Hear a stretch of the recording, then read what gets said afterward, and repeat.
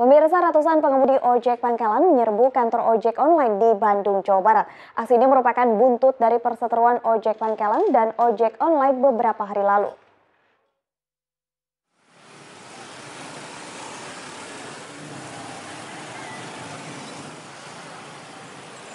Ratusan pengemudi ojek pangkalan mendatangi kantor Wali Kota Bandung, Jawa Barat.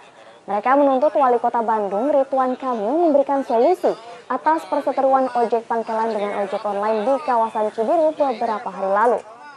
Sayangnya, aksi mereka tak direspon karena wali kota Bandung sedang berada di lokasi lain. Ratusan pengemudi ojek pangkalan kemudian mendatangi kantor ojek online di Jalan BKR.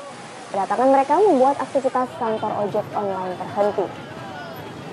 Di sini pengemudi ojek pangkalan juga tak bertemu pihak ojek online. Mereka pun mendesak pemerintah kota Bandung dan kepolisian menghentikan operasional ojek online karena jika diteruskan, dikhawatirkan perseteruan dengan ojek pangkalan akan terjadi.